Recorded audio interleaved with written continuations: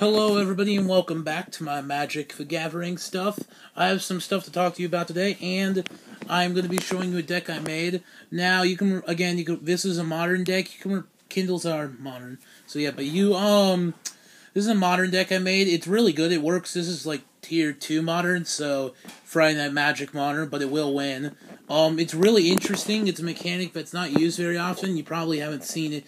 If you were played older back in Quagmire, that you've seen it, but unless you played way back then in 2004 when you haven't seen this mechanic. So Kindle, and I'm going to reveal that to you. But I realized something else. Um, Kindle deals two target creature or player an amount of damage equal to two plus the number of Kindle cards in your graveyard. I realized something else. Um, sex sells. Um, I was watching some magic channels the other day, and I came across this one, which is just this Asian lady, and like she's just showing off cleavage the entire time, and she just just gets she has like 500 subs, but she doesn't even post anything. She posts only trade binder videos, nothing else. She has 500 subs, and I think the only reason she has 500 subs is because sex sells. It's what people want to see. If you want me to take my shirt off, yeah, I'm joking. That'd not be a pretty sight.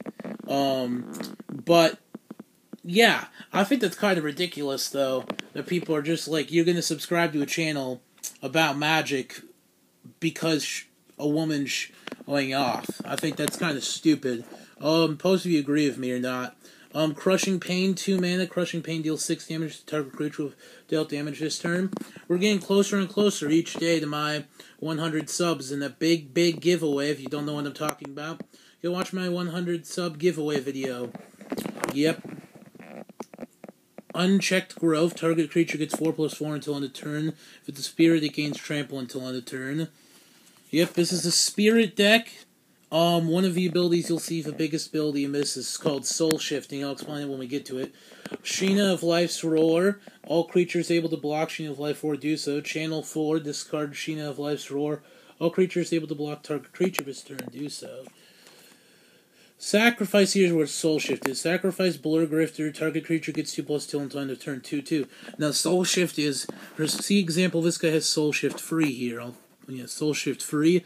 When this is put into a graveyard from play, you may return a target spirit card with converted mana cost to free or less from your graveyard to your hand.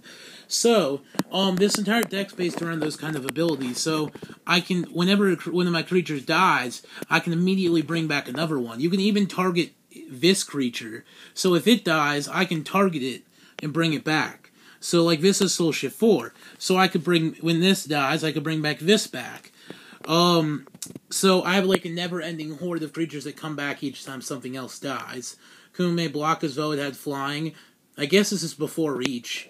Um, Soul Shift 4, well this is back in 2004 if I'm correct, I don't know. If you were playing back then, tell me. I think it's from 2004 or 5. Um, Kami of Attended Garden. If you can replace these, do so. I have these in here as a filler right now until I, um, I'm going to replace them with something else I'll show you later because you have to pay one green mana continuously. It's a 4 4 with free soul shift. Um, Inner Calm, Outer Strength. This card's really good. Free mana. Target creature gets X plus X until end of turn, where X is the number of cards in your hand. It's good crate. Good card. Good card. Hey, look, they're all foil from. I don't know why there's Black Swamp in there. Black Swamp in there. Black.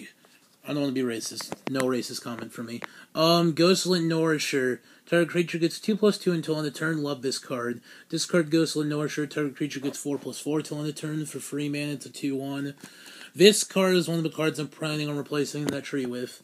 Um, Promise Kannushi. Soul Shift 7. So when this is put into a graveyard from play, you may return target spirit card with converted mana cost of 7 or less. That's that's a lot from your graveyard to your hand. So any of those big creatures, those big legend like spirit creatures from this set, you can return another one of those.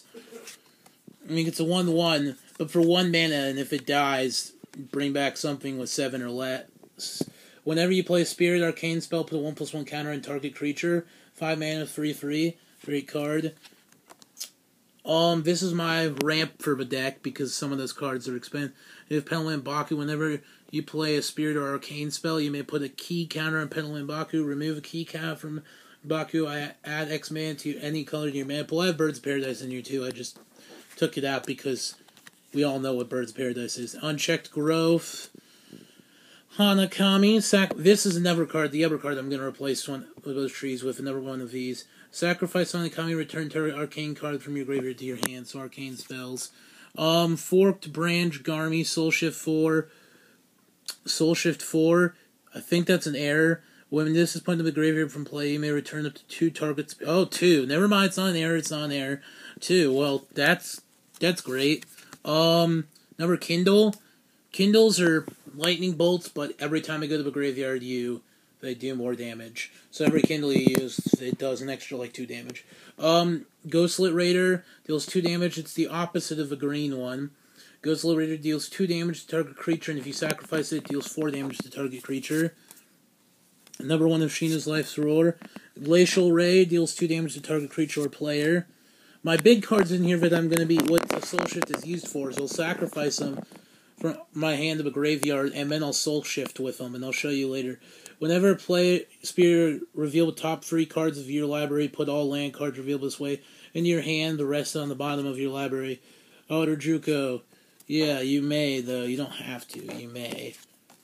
Um, Crushing Pain deals 6 damage to target creature. Damn it, Nubi's turn. That's great. This is one of them.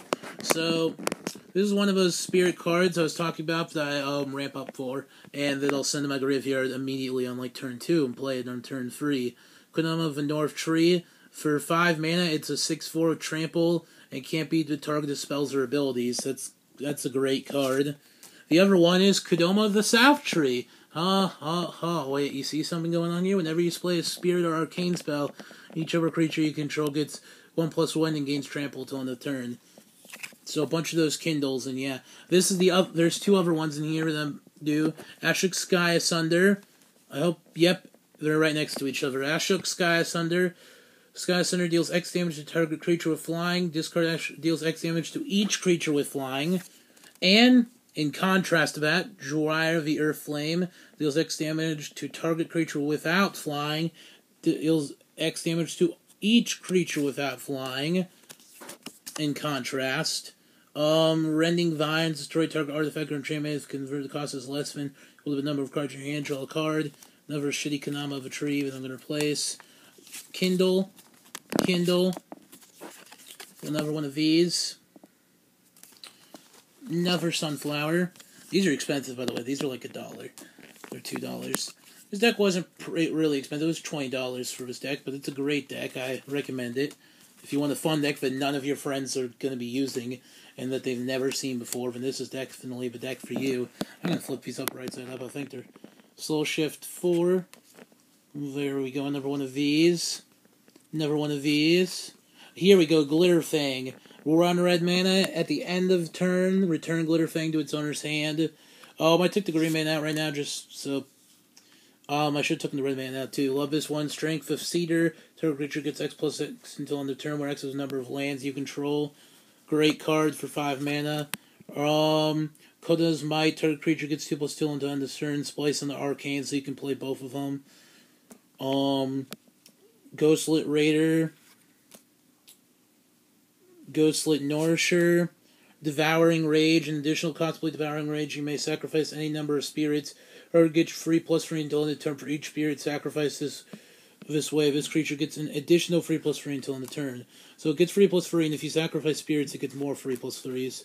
Frost Fang, sacrifice Frost deals one damage to target creature and a mountain. Um, thank you for watching. Next, I'm going to be doing something non-magic related. I'm going to show you it right now. It's called Low Life. It's something you guys might have never heard of. It's going to be really interesting. You should watch it. Um, I'll be explaining it to you guys and going over it. Um, thank you for watching. I'm also going to be uploading one more deck video. Remember to please comment, like, and subscribe, and share.